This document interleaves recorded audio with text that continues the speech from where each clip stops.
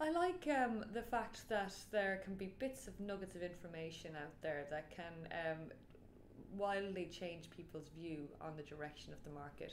Uh, so you can have news coming over the wires, particularly topically this week. We had uh, news uh, which came over Bloomberg that was an EU source suggested that the ECB were going to instigate negative deposit rates uh, for banks. And of course, we saw the euro drop like a, a proverbial stone against the US dollar on this news and ultimately stopped me out of my long euro dollar trade. So we're talking about profound effect.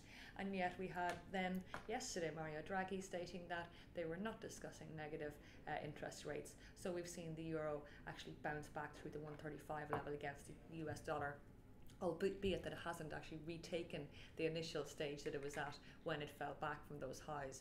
Uh, so it's the, the drama and the, the bits of information, and of course the diverging views you have between different traders as to where the overall direction of the market is that I enjoy. I enjoy the, the debate, I enjoy the trades, and I enjoy the opportunities that come as a result. I don't enjoy the losses uh, if and when they come, but I take them for what they are uh, in expectation that the next trade I do will have a better outcome.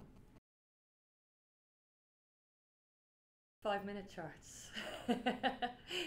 I think uh, anything lower than that is uh, just a little bit ridiculous. I mean, I know people who do trade quite well from those, but they have time and the energy, presumably, uh, to sit and watch the charts.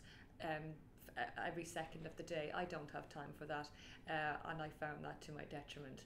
Um, and obviously, taking too large a position, uh, it's quite a different story trading uh, with a bank's money rather than your own money, and uh, it does t- uh, put a, an extra facet of emotion into it. So uh, you're you're more inclined to get upset about a losing trade when it's your own money.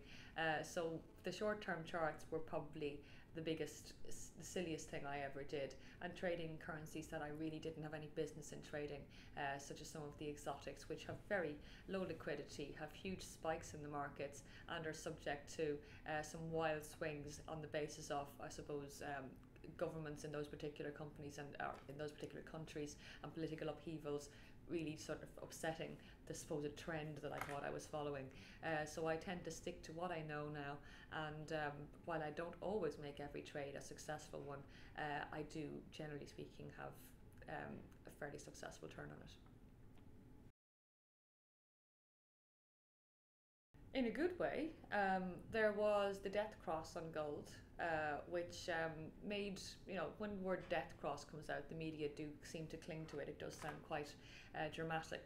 And uh, once gold saw that, which is basically the 50 uh, new moving average moving from above the 200 day moving average, uh, we have never seen gold trade higher since then. So, from a, a back test point of view, the short trade I did on that, I am out of it now, unfortunately, was profoundly made me profoundly happy. Suppose that's probably what I'd like to say.